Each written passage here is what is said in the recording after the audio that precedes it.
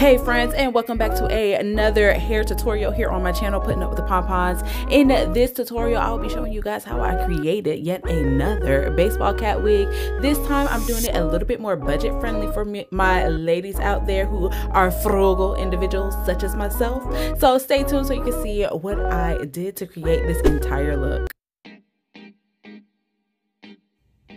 Now, before we go any further into the details of this tutorial, if you are new to my channel, please do not forget to hit that subscribe button. We would love to have you come on and join the family, join the Ponpon fam. To all of my returning subscribers, hey Bestie, how you doing, love? Hope you are being safe and blessed as always. We greatly appreciate having you back again. So let's go ahead and jump straight into this. I'm going to let this video ride out because I just don't feel like talking today. So I hope y'all get the gist of what I'm doing. I will take a pause in the middle of the video to kind of explain what I did and my techniques. And at the end, I'm going to show you several looks that you can wear and create with this headband or baseball cap wig.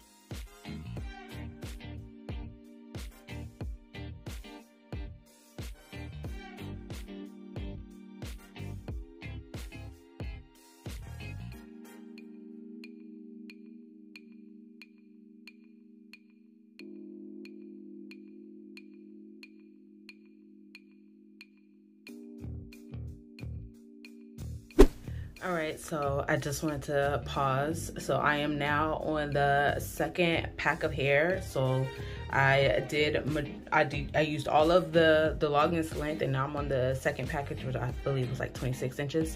So these little like thread seams right here that are on the dome cap because this is the front of my dome cap. Um, this is pretty much my meeting point of where I want to stop pretty much when it comes to uh, laying my tracks in the half moon. So I'm pretty much just making a uh, U, a big like U around the entire dome. So as you can see, is what I have so far and this is what I have left of that middle packet. So it probably I probably used about half of that middle packet so far. I'm gonna lay down two more tracks so that I can come to uh, the meeting point of these seams on both sides and that's gonna be my stopping point. Then I'm gonna come to the back and I'm gonna lay maybe three strips right here down the middle and that's gonna cover up for you know when you wear a baseball cap you have that opening in the back. We don't want to uh, see uh, this uh, dome cap, we want to make sure we see the hair. So I'm going to lay three stri uh, strips just going straight across. I'm not going to do a big U going across. I'm going to do them just straight across once I completely lay my two extra tracks going right here. I'm going to lay three just right here pretty much right there in the middle of the head so it can cover up that opening on the baseball cap and it will look as natural as possible. Once I am done with that, I'm going to allow this to uh, dry overnight because um, yeah, I don't want the tracks to like accidentally like come loose as the glue is trying to dry. So we're gonna give this a overnight dry and then the next morning we're gonna see the completed look.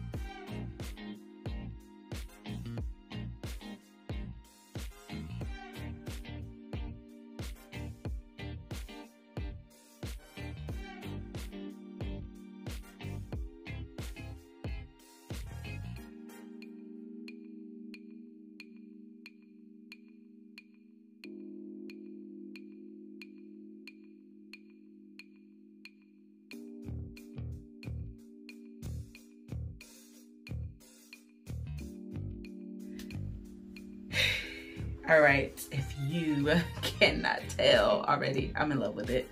I really am. The long hair is just like giving everything. I haven't done anything with this length. I don't usually do anything long. This year I have been filling the long hair.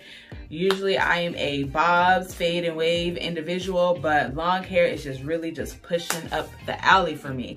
So I do want to stand up so y'all can see the entire entirety of the wig and how long it is.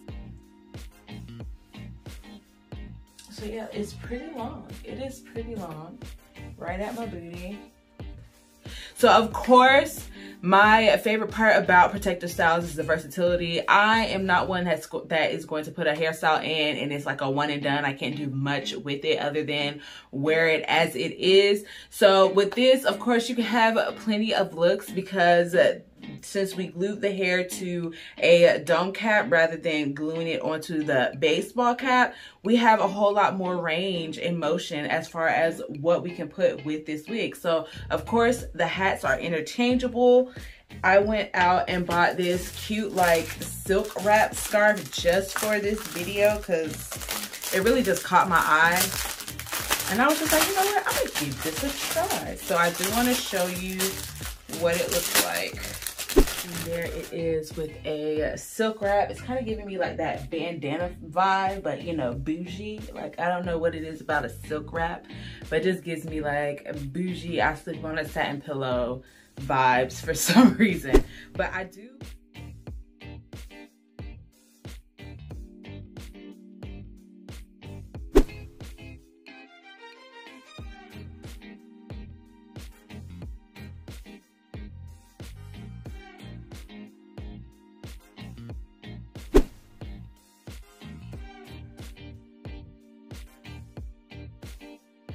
have uh, created a uh, baseball cap, the versatile baseball cap before on my channel. This time I just wanted to do it a little bit more budget friendly because the first one that I made was with human hair, which human hair could be a little bit more expensive than synthetic hair, but you're still getting the overall effect with both the human hair and the synthetic hair. Now this of course is the synthetic. This is 28 inches and 26 inches of like a body wave in the 99J color. And this entire packet, I believe was like $30 for the entire thing. Give you like versatile looks. You can dress this up to make it look bougie and outfittable. And you can also dress it down to make it look casual. Now, of course, I will be making more of these wigs because these are a total look for me. Like I love wearing baseball caps, especially when I do not feel like doing my hair. So this is a very quick solution for me and it's very casual and fun fitting. So I will be creating like box braid, a box braid one. I still want to do one of those.